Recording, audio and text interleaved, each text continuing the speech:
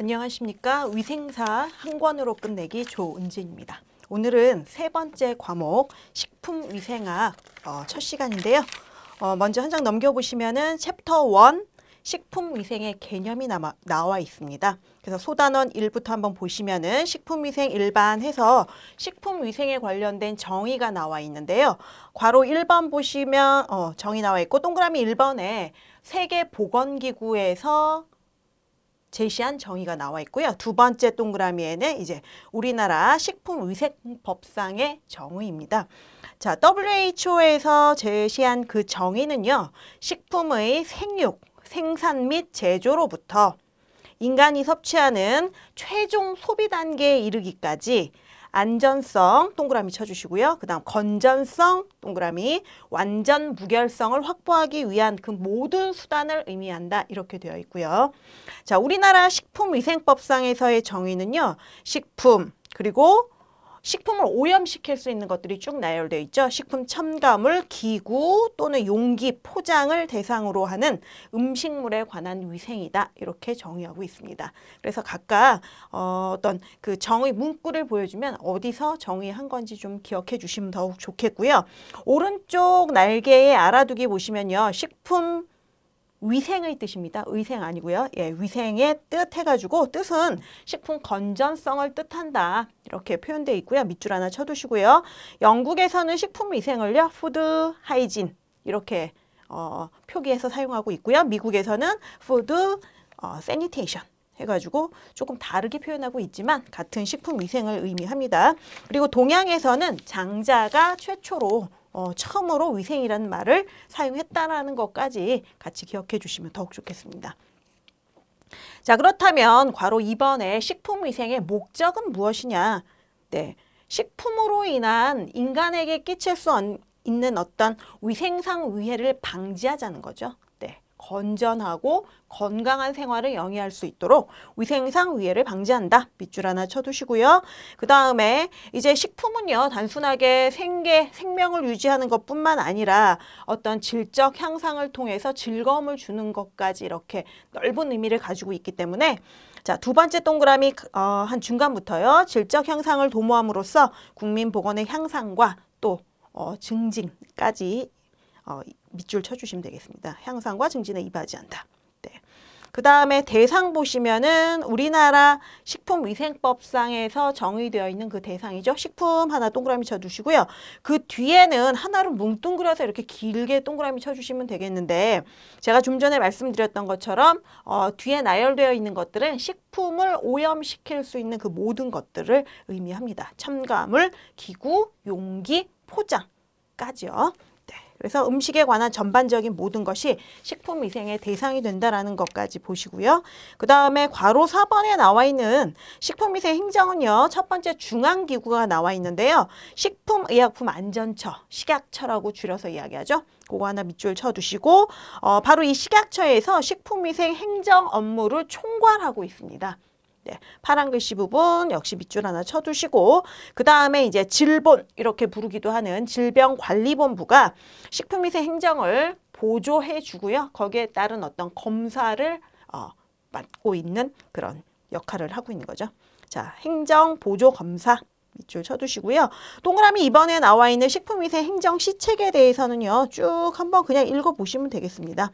뭐 그 식품위생의 대상이 되는 것들의 기준과 규격을 설정하고요. 그 다음에 어, 질병관리본부에서 시행한다 이렇게 말씀드렸던 어떤 검사 이런 것들도 실시하고요. 식품 검사 제도 및 자가 품질 검사 제도도 실시하고 종업원이라든가 그 종사자들에 관련된 건강 진단이라든가 위생 교육도 실시하고요. 그다음에 식품 첨가물에 관련된 고시, 그다음 위생 감시 제도, 표시 제도, 그다음에 해썹 제도를 도입했죠. 그래서 어, 시옷의 해썹 제도는 뒤에 한번 다시 나올 겁니다. 상당히 중요한 내용이니까 꼭 기억을 해 두셔야 되고요. 그다음에 식중독 관리 및 보고 체제 설정, 그 다음에 영업 허가 및 영업 신고에 관련된 어, 제도도 실시하고 있다는 거 기억하시면 되겠습니다. 네, 한 장 넘기니까요. 바로 해썹 나왔죠? 해썹은 이제 줄여서만 이렇게 나와 있잖아요. 이거는 이제 우리말로 하면 식품 안전 관리 인증 기준입니다. 식품 안전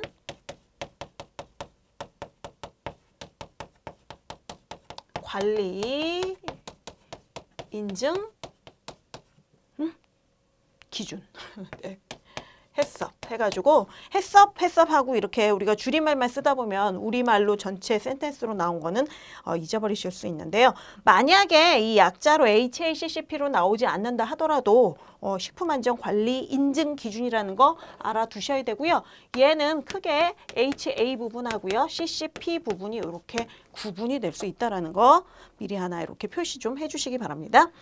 네, 39, 38 7, 6, 5 해가지고 연달아서 5년 동안 쭉 해썹에 관련된 문제가 출제됐으니까 어느 정도 중요하게 여겨지는지 아시겠죠? 자, 해썹이란 식품 제조, 가공 공정, 가공 공정의 모든 단계에서 네, 거기까지 밑줄 쳐 두시고요. 자, 위해를 끼칠 수 있는 그런 요소들을 공정별로 다 분석해가지고 어, 호, 어떤 해당 식품에 혼입되거나 오염되는 것을 사전에 막자라는 게 중요한 겁니다. 네, 그래서 사전에 방지 하나 밑줄 쳐두시고요. 그 다음에 세 번째 줄 중간에 보시면요. 예방, 예방적인 위생관리 체계다. 거기에 밑줄 쳐두시고 예방 하나 동그라미 쳐두시면 좋겠습니다. 네. 자, 그래서 이 해썹은 HA 부분하고 CCP 부분하고 이렇게 나눠서 생각을 하셔야 되는데요. HA 그러면은요, 위해 요소 분석입니다. 위해 요소 분석. 그 다음에요. CCP는 어, 중요 관리점이죠. 중요 관리점. 이렇게 두 부분으로 나누어진 것을 한꺼번에 우리는 해썹이라고 부르고 있는 거죠. 자, 위해 요소 분석은요. 원료, 공정에서 발생 가능한 어떤 병원성 미생물이라든지 이런 것들 생물학적, 화학적, 물리학적 위해 요소를 분석하는 것입니다. 말 그대로 위해 요소 분석인데 모든 파트에서 생물학적, 화학적, 물리학적인 그런 어, 부분에서 위해 요소를 분석하는 거다. 자, 그래서 위해 요인을 사전에 파악함으로써 예방을 하자는 거죠. 그래서 HA는 예방적 기법입니다. 예방적 기법. 사전에 분석함으로써 예방하자. 예방적 기법이고요. 그 다음에 CCP 요 중요 관리점은요. 위해 요소를 예방, 제거 또는 완전히 제거할 수 없을 때는 어떤 허용 수준을 두는데요. 그 허용 수준으로 감소시킬 수 있는 어떤 공정이나 단계를 중점 관리하는 거죠. 네. 그래서 그, 어, 그 부분을 중요 관리점이라고 하고 이 반드시 필수적으로 관리해야 할 항목들이 바로 CCP 항목들입니다. 그래서 이렇게 두 개로 되어 있다는 거 보시고 다시 네모 박스로 돌아가시면요. 어, HACCP 해썹의 7원칙 과 12절차가 있는데요. 해썹 7원칙이란 어떤 것이냐? 첫 번째 줄 뒤에 단계별로 적용되는 주요 원칙이다. 네. 거기 밑줄 쳐두시고 두 번째 줄 중간에 해썹의 12절차란 준비 단계에 있는 다섯 절차고요. 그 다음에 이제 7원칙이라고 하는 그 7원칙이 본 단계거든요. 그래서 본 단계에 있는 7원칙을 두 개를 합한 것을 해썹 12절차라고 한다. 그거 먼저 알고 계셔야 되고요. 어, 해석 관리 체계 구축 절차를 의미하는 거다. 그래서 뭐 준비 단계가 바로 밑에 나와 있죠. 해썹 팀을 일단 구성해야 되고요. 그 다음 제품 설명서 작성, 그 다음에 제품의 용도 확인, 공정 흐름도 작성, 공정 흐름도 현장 확인. 해서 다섯 가지 준비 단계가 있고요. 그 다음에 어, 해썹 7원칙 본 실행 단계죠. 위의 요소 분석하고요. 그 다음에 중요 관리점을 결정하고 한계 기준 설정하고 그다음 모니터링 체계 확립하고 개선 그 개선 조치 방법 수립, 검증 절차 및 방법 수립, 문서와 기록 유지 방법을 설정한다. 그래서 일곱 가지로 이렇게 나뉘어져 있고 이 준비 단계와 본 실행 단계를 합쳐서 12 절차라고 한다라는 거 꼭 기억해 두시기 바랍니다. 네. 자, 그다음은 괄호 어, 저 소단원 두 번째의 식품의 위생입니다. 자, 괄호 1번 보시면은요. 어, 위생적인 식품 취급하고 나와 있는데요. 자, 일반적 사항이 먼저 나와 있습니다. 일반적 사항 보시면 여러분들이 어, 식품 취급할 때 이러이러해야 한다 하고 우리가 일반적으로 알고 있는 사항들이 나와 있는데요. 기억 보시면은 네, 원료 보관실이라든가 뭐 포장실, 제조 가공실, 기타 등등 이런 곳에 식품을 처리하고 어, 가공하고 우리가 소, 이렇게 음, 작업해야 하는 그 모든 것들은 모든 곳들이죠. 내부가 청결해야 된다. 네, 당연한 이야기죠. 내부는 청결. 밑줄 쳐두시고 그 다음에 니은에 운반하고 보관하고 진열할 때는 보존 및 보조, 보관 기준에 적합하도록 한다. 보존 및 보관 기준에 적합. 네. 그 다음에 냉동실 및 냉장실은 예, 정상적으로 작동시켜야 되죠. 규정이 있으니까요. 그 다음에 어, 제조, 가공 또는 포장에 직접 종사하는 사람들은 위생모를 착용해야 한다. 자, 그 다음에 미음 보시면요. 항상 어, 살균 세척해가지고 기계, 기구, 조리 도구 이런 것들은 어, 위생적으로 청결하게 유지한다. 그렇죠? 칼돔의 행주도 미생물 권장 규격에 적합하도록 관리해야 하고요. 그 다음 시옷에 한번 밑줄 쳐보실게요. 식품 저장고에는 해충을 방지하고 동물 사육을 금지. 까지 밑줄 쳐주시고 그 다음에 이응에도 좀 밑줄 쳐두실게요. 채소를 세척할 경우에는 흐르는 물에서 5회 이상 씻는다. 밑줄 쳐주시기 바랍니다. 자, 흐르는 물에 5회 이상 밑줄 쳐두시고 그 다음에 이제 어, 이 재료들을 손질해서 세척할 때도 그 순서가 있죠. 채소를 가장 먼저 세척하고 그 다음에 육류, 마, 마지막에 어류, 순이라는 거. 파란 글씨 부분 밑줄 쳐두시고요. 자, 그 다음에 지읒에는 식품에 이물질이 들어가지 않도록 밀봉해둬야 된다. 밀봉 하나 밑줄 쳐두시고 그 다음에 유지식품들은 일광 차단하고 저온 보존해야 된다. 네. 익히 여러분들이 알고 계신 거고요. 특히나 이제 그 횟수라든가 세척 순서 같은 것들만 조금 유념해 주시면 되겠습니다. 자, 그 다음에 동그라미 2번 개인위생입니다. 기억에 나와 있는 상황은요, 사항은요, 어, 상당히 기본적인 거죠. 조리하기 전에는 반드시 손을 씻어야 되는데요.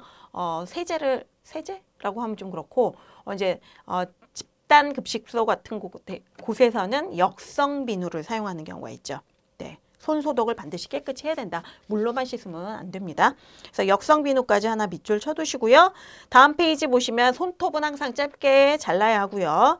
그 다음에 특히 디귿의 화농성 질환자 소화기계 감염병 환자 등은 절대 조리 행위를 하셔서는 안 됩니다. 자, 그 부분 밑줄도 하나 쳐두시고 위생모, 그 다음에 위생복, 마스크 항상 착용해야 되고요. 자, 이물질로부터 식품을 오염시킬 수 있기 때문에 반지라든가 팔찌라든가 이런 손의 액세서리들은 금지한다. 자, 손의 액세서리 착용 금지 밑줄 쳐두시면 되겠습니다. 자, 그 다음 괄호 2번은 식품의 보관 방법입니다. 특히나 이 부분들 어, 조금 자세하게 기억해 두셔야 되죠. 어, 위생적인 식품 취급에 관련된 건 일반 사항이라서 익히 잘 알고 계신 거고 이번에 식품 보관 방법은요. 어, 수치라든가 어떤 음, 온도 범위 내지는 pH 범위 이런 것들 어, 잘 기억해 두셔야 됩니다. 자, 동그라미 1번에 냉동과 냉장법이 나와 있는데요. 냉동실에 오래 뭔가를 어, 이렇게 차곡차곡 쌓아서 오랫동안 보관하시잖아요. 대부분 집에서 보시면은. 자, 냉동한다고 해가지고 균이 죽거나 하는 거는 아니죠. 살균 처리하는 거 아니고요. 단지 그 냉동하게 되면 수분이 얼기 때문에 미생물들이 사용할 수 있는 수분이 제거됨으로써 생육을 억제하는 것 뿐입니다. 그렇기 때문에 너무 오래 두면은 냉동고 안에서도 곰팡이 슬고 부패가 일어나죠. 자, 특히나 해동 후에는요, 부패가 빠르고요. 어, 냉장에 비해서는 비교적 장기간 보존할 수 있다라는 특징이 있죠. 그 다음에 냉장법은요, 미생물의 증식을 잠시 억제하는 것 뿐입니다. 네. 그래서 자기 소화를 지연하고요. 어, 냉동에 비해서는 좀 단기간 보존을 할때 어, 냉장법을 사용하게 되죠. 자, 기억 한번 보실게요. 냉장고 내부에 온도계를 비치해야 하고요. 그래서 일정 온도를 유지할 수 있어야 합니다. 그 다음 니은은 어, 식품은요. 전체적으로 꽉꽉 채워놔가지고 빈틈없이 넣으면 안 되고요. 그 용량의 80% 정도만 채워야 한다라는 거. 네. 집에서도 마찬가지입니다. 자, 80% 정도만 저장 밑줄 쳐두시고요. 냉장고 문 자주 열지 않고요. 네, 깨끗하게 청소해서 세균 오염을 막아야겠습니다. 그 다음 미음, 냉장고는 벽에서 10cm 정도 떨어진 곳에 설치, 10cm 정도 떨어진 곳에 설치 밑줄 치시고 10cm 동그라미 하나 쳐두시고요. 그 다음에 비읍, 네, 제가 설명드린 냉장에 관련된 게 나와 있네요. 자기소화 지연시키고요. 미생물 증식 저지, 변질 지연, 식품 신선도를 단기간 유지하는 것을 목적으로 한다. 네. 그리고 냉동실은 영하 18도씨 이하로 유지되게 돼 있는데요. 18도씨 이하 하나 밑줄 쳐두시고 육류라든가 건조한 김 등을 보관하기에 좋죠. 자, 이응 냉장실에는 네, 칸이 이렇게 좀 나뉘어져 있잖아요. 그래서 그 상단, 중단, 하단별로 우리가 저장하는 식품의 종류가 좀 다르게 됩니다. 그 온도 범위가 다르기 때문에요. 그래서 육류와 어류는 상단에 넣게 되는데 0에서 3도씨 정도고 이렇게 유지가 되고 있고요. 유지 가공품들은 중간층에 넣게 되는데요. 5도에서 음, 그, 그 밑으로. 그 다음에 이제 과일 채소는 어, 집에 있는 냉장고도 마찬가지죠. 가장 하단에 보관하게 되는데 7에서 한 10도씨 정도로 유지되고 있다는 거. 그래서 어떤 식품들이 상, 중, 하 중에 어느 위치에 보관이 되어야 하는지 꼭 기억을 하나 해주시고요. 자, 그 다음에 2번 식품 보관 장소입니다. 자, 통조림은요, 상온에서 보관하셔도 되고요. 유통기한 내만 사용하시면 되겠습니다. 그 다음 간장, 식초, 액젓과 같은 것들은 서늘한 곳, 그 다음에 올리브유, 들기름은 어, 특히나 좀 산패가 빠르기 때문에 냉장실, 에 보관하시는 게 좋고요. 특히 들기름 어, 아니면은 직사광선이 닿지 않는 서늘하고 건조한 곳에 보관하셔야 됩니다. 자 마요네즈 경우에는 여름에는 냉장실에서 보관하고요. 그 밖의 계절에서는 어, 상온에서 보관해도 된다. 그리고 미음 하나 떡, 저 밑줄 하나 쳐두실게요. 떡과 밥과 빵은 어, 냉동해가지고 보관하셔야 된다라는 거. 자, 그 다음에 뭐 열대과일 서늘한 곳, 뿌리 채소는 어, 구멍 뚫린 망에 담아서 서늘한 곳에 둔다. 네, 봐주시면 되겠고. 3번의 화학적 처리입니다. 네. 기억 보시면은 먼저 방부제 사용이 나와 있어요. 방부제. 자, 미생물 작용에 의한 부패를 방지하기 위해서 첨가하는 화학물질이 방부제죠. 네. 많이 쓰이는 게 데히드로초산, DHA라고 하는 거. 네.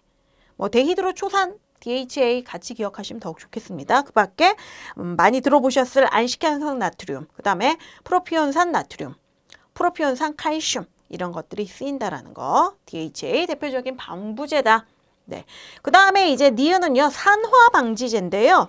어, 지방질이라든가 비타민 A, D 등을 함유한 식품에 산패를 방지할 목적으로 첨가하는 화학 물질이 산화 방지제입니다. 네, 대표적인 것으로는 디부틸 히드록시 톨루엔, 네, BHT예요.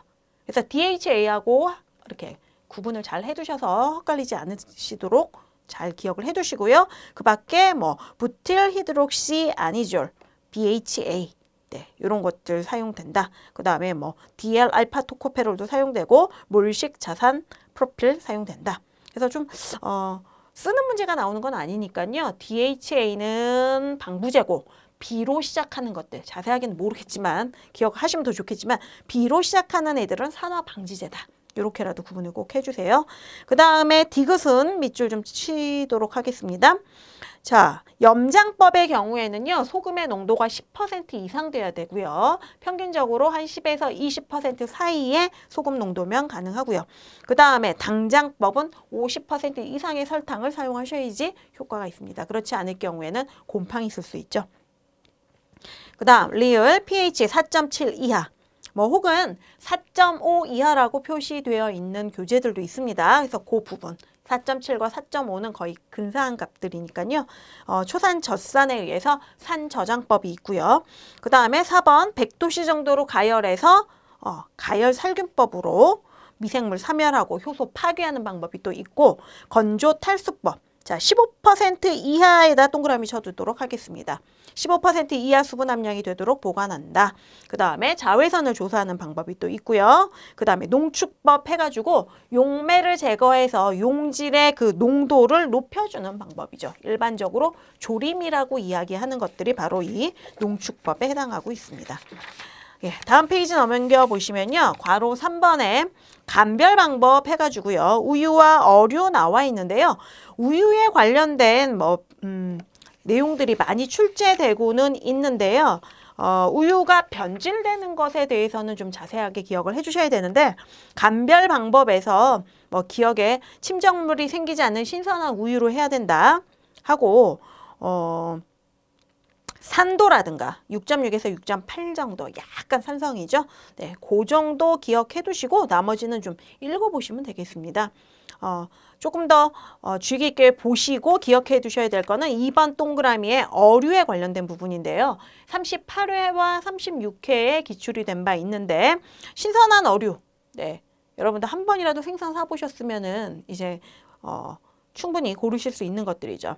광택이 나고 어, 눈이 투명해야 되는 거죠. 네, 흐리멍텅하게 이렇게 좀 눈이 흐리멍텅하다, 탱글탱글하지 않다 그러면은 이미 좀 부패, 부패가 좀 진행된 게 아닌가, 신선하진 않다 라고 생각하셔야 되고 아가미를 들춰봤을 때 선홍색이어야 되고요. 그 다음에 육질이 탄력이 있어야 되고 비늘들이 다 제자리에 붙어 있어야 되죠. 표면이 막 흠집이 생기고 비늘이 좀 떨어져 나간 것들은 신선하지 않다라는 거. 그 다음에 pH가 5.5 전후여야 한다. 네, 그 부분 밑줄 쳐두시기 바랍니다. 그 이유는요. 이응 보시면 되는데요. 어, 중성 상태 7.3 상태가 좋기는 하지만 어류의 경우에는 이렇게 어, 어획 되자마자 바로 사후강직이 일어나기 때문에 어, 수조 육류들하고는 조금 다르죠. 그래서 5.5에서 5.6 정도 그러면 이제 잡힌 지 얼마 안 된 거기 때문에요. 그렇게 어, pH가 나온 거고요. 그 다음에는 이제 강직이 해제되고 어, 자가소화, 숙성된 후에 부패된다라는 거. 그래서 사후 강직 때에 그 pH 5.5에서 5.6, 그 다음에 부패가 진행될 때 어, pH가 한11 정도 됐다, 된다. 그 부분 기억 하나 해주시고요. 그 다음에 어, 비중이 커서 침전이 일어나죠.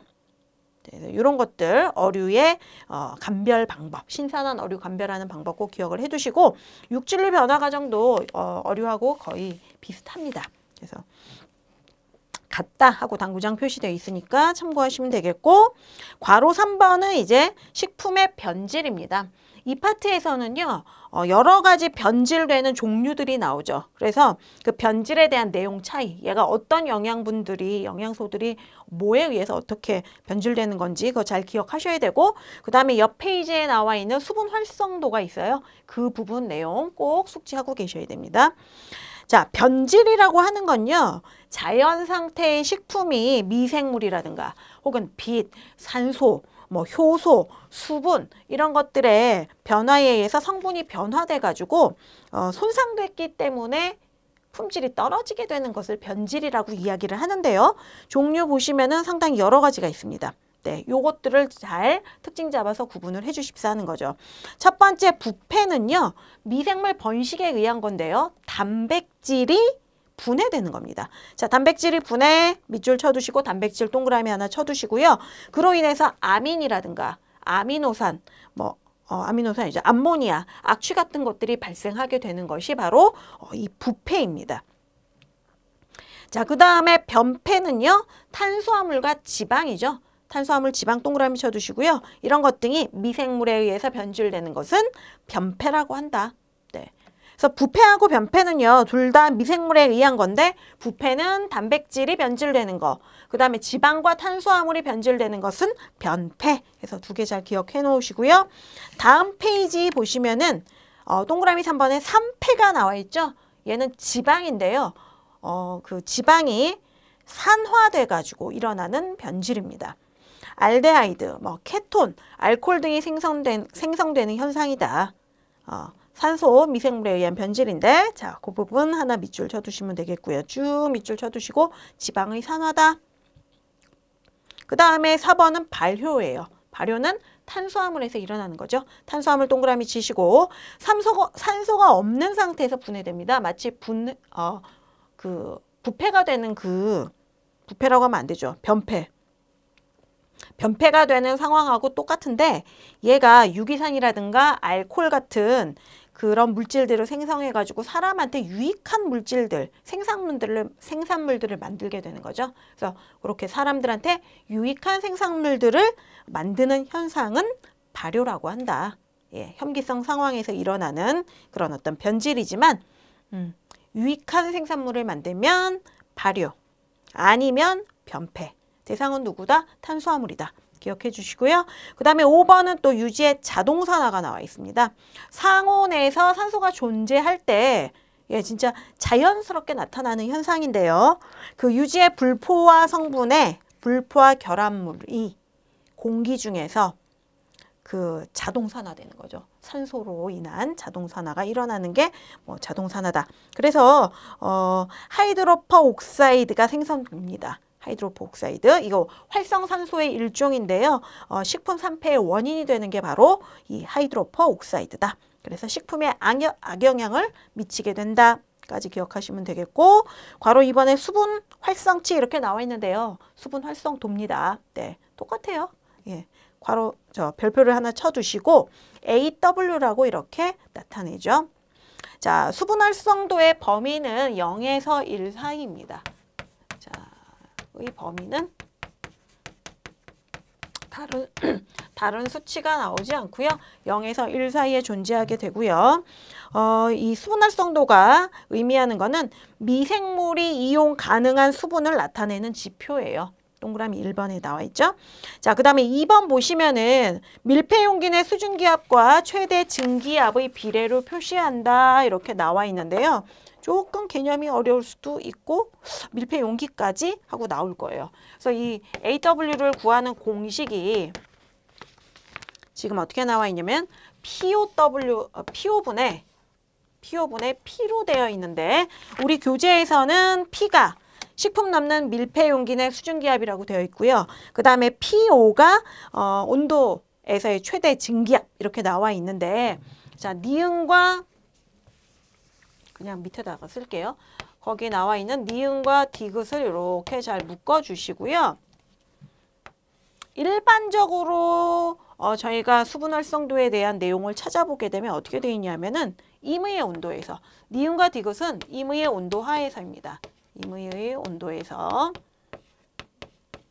요거 하나 써주시고요. 임의의 온도에서 니은 어, P가 의미하는 거는요. P. 자, 우리 교재에 나와 있는 식품을 남는 밀폐용기 내 수증기압 그 옆에 써주시면 됩니다. 같은 의미로 그냥 그 식품의 예, 수증기압이죠. 네, 혹시나 문제를 어, 수분 활성도를 구하게 되는 문제가 나올까 싶지만 그래도 중요한 내용들이니까 어, P를 구할 때 이렇게 표현이 되어 있다 하더라도 충분히 찾아내실 수 있어야 되니까 하나 같이 써드리는 겁니다. 그 다음에 PO 같은 경우에는 온도에서의 최대 수증기압, 뭐 최대 증기압 이렇게 써 있는데 순수한 물의 수증기압 네, 같은 의미입니다. 순수한 물의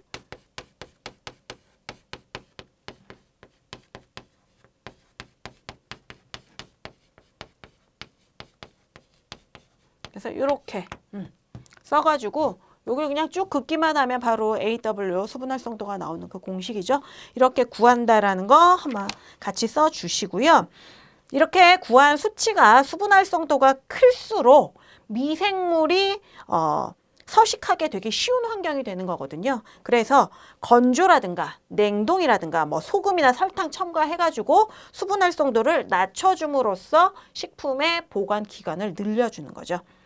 자, 그 다음에 3번 동그라미 보시면은 증식 가능한 수분 활성도 해가지고 이제 일반 세균과 효모 곰팡이가 나와 있는데 요 정도 수치는 조금 기억을 해주셔야 됩니다. 그래서 3번에 기억, 니은, 디귿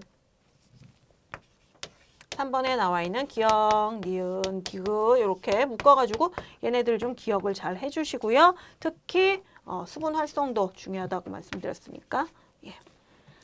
하나 별표 치고 할게요. 일반 세균 같은 경우는 수분 활성도가 0.96 이상입니다. 네, 어, 0.96이 아니더라도 0.90 정도 그 범위에서 0.90 이상 이렇게 나오는 경우도 있어요.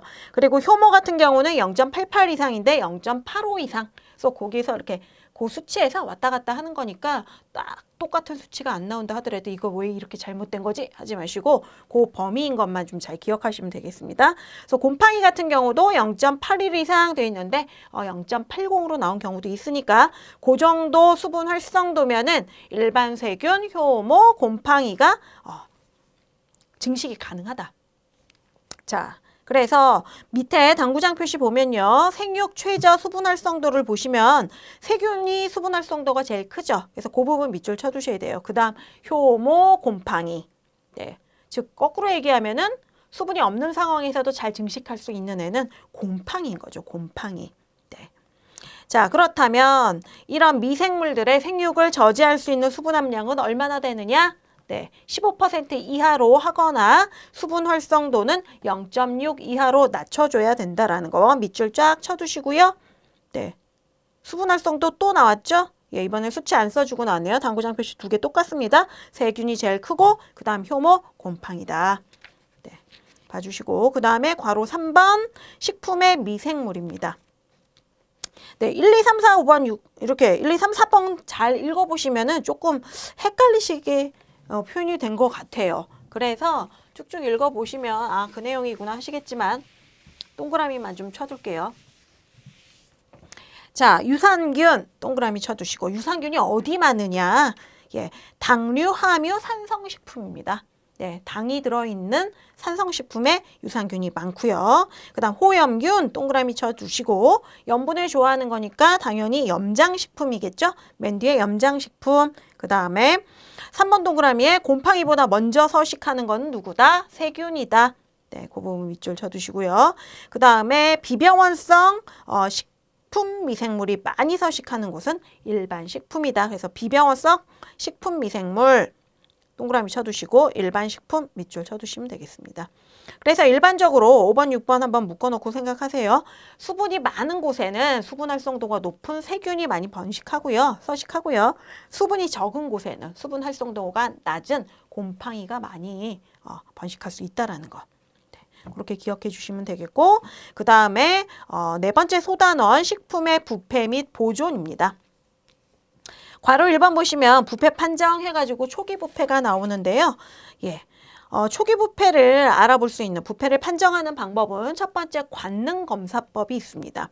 관능 검사라는 것은 우리의 오감각을 이용해 가지고 검사를 하게 되는 거죠. 시각, 촉각, 미각, 후각 등으로 검사 밑줄 쳐두시면 되겠고요. 그 밖에 이제 이번에 물리적 검사 보시면은 식품의 경도라든가 점성, 탄력성, 전기 저항 등을 측정하는 방법이 물리적 검사인데요. 두 번째 줄에 짧은 시간에 간단한 간단하게 결과를 얻을 수 있다라는 장점이 있습니다. 자, 그 다음에 세 번째는 생물학적 검사죠. 일반 세균수 측정 밑줄을 쳐두시고요. 그렇게 해가지고 선도를 측정하게 되는 건데요. 자, 식품 1g당 1 또는 1ml당 10의 7제곱, 7제곱에서 10의 8제곱이면 초기 부패로 본다라는 거. 네, 이거 꼭 기억하셔야 되죠. 10의 7제곱에서 10의 8제곱이면 초기 부패한 것으로 보고 예, 그 이상이면 완전히 이제 부패가 일어난 거죠. 자, 15제곱 이하는 안전하다. 그래서 거기까지. 초기 부패 수치하고요. 15제곱 이하에다 동그라미 쳐놓고 안전하다. 이 부분 잘 기억하셔야 됩니다. 그래서 부패 판정하는 부분하고요. 살균에 대한 내용을 이 파트에서는 주로 묻고 있기 때문에 그 부분 잘 기억하셔야 되고 한 장 넘겨주시면요. 네 번째는 화학적 검사 방법이 나와 있습니다.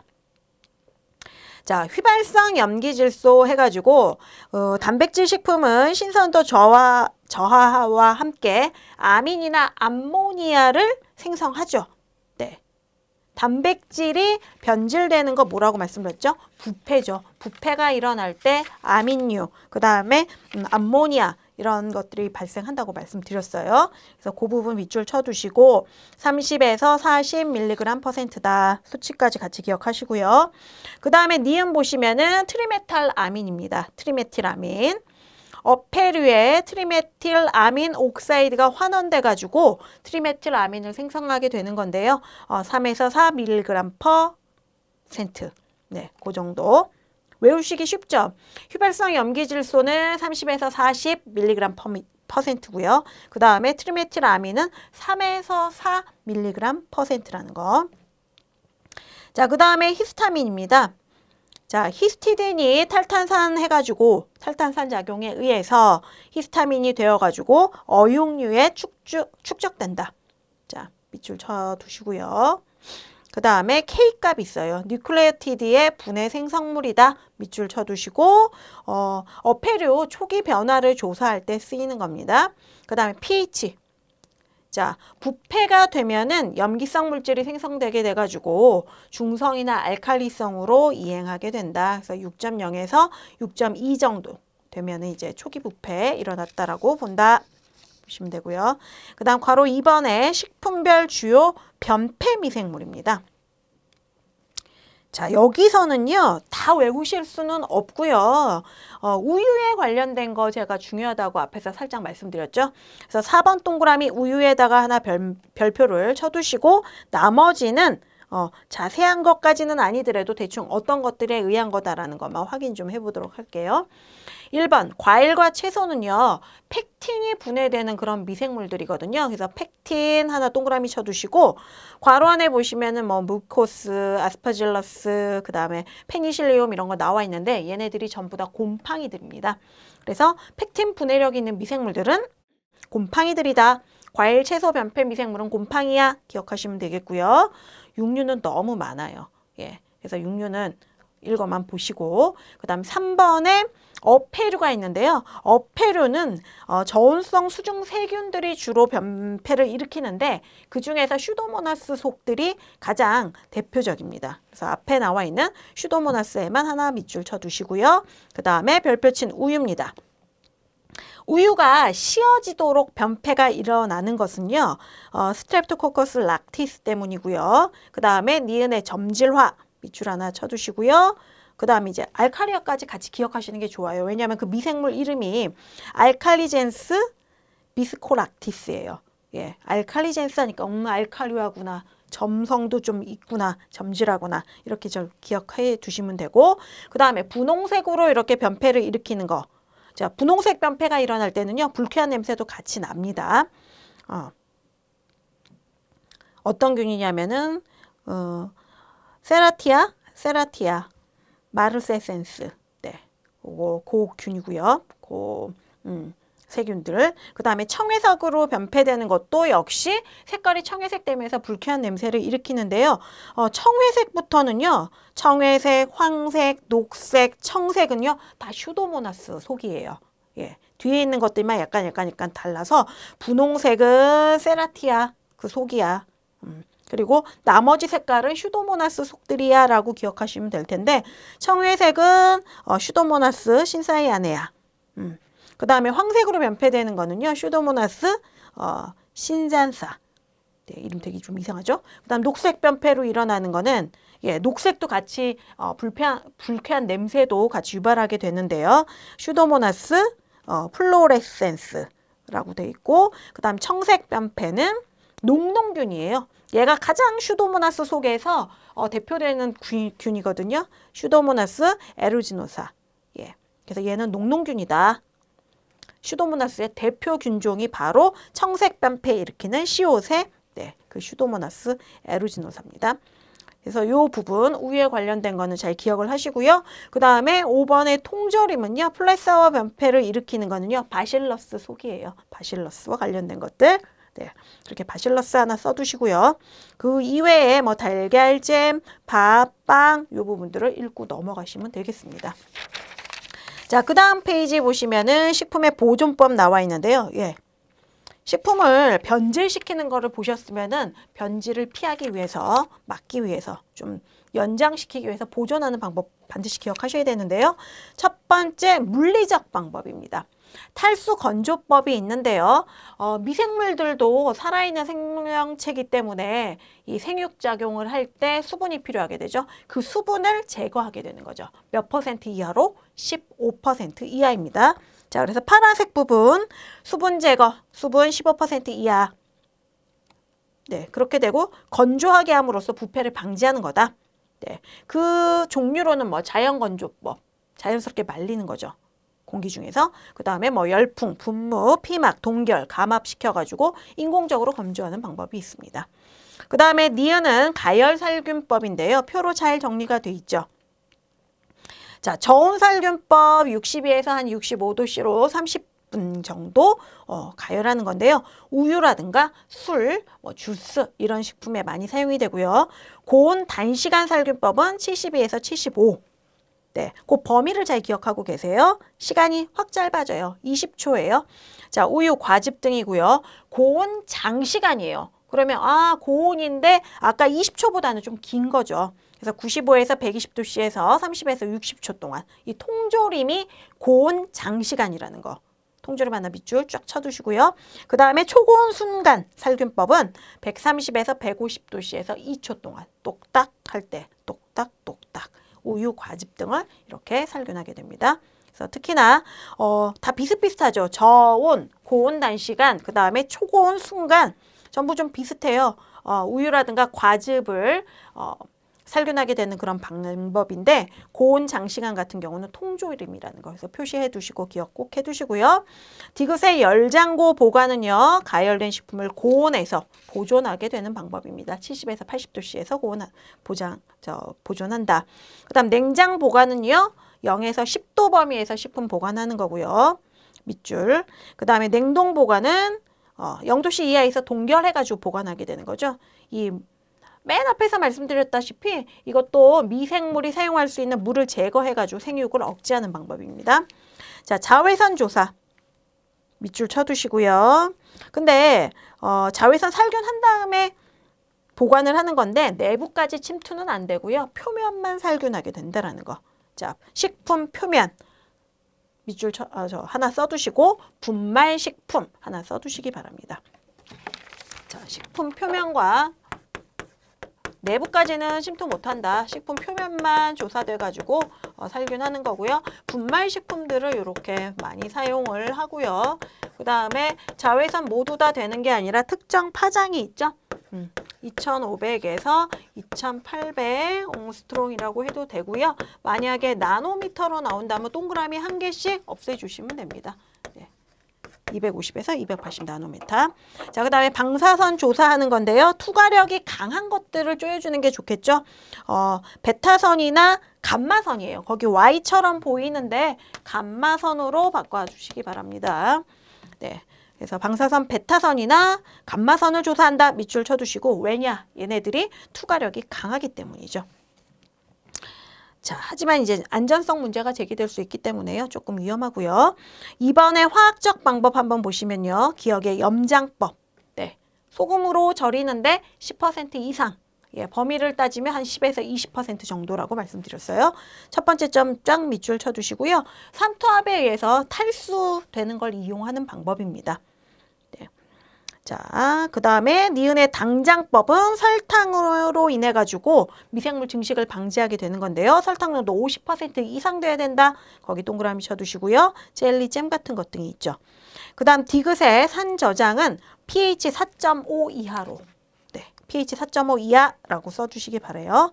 그 다음 두 번째 점 보시면은 초산, 젖산, 구연산 같은 것들을 이용한다라는 거 하나 밑줄 쳐두시고 그 다음 리을에 화학물질 첨가하는 거 나와 있죠. 네.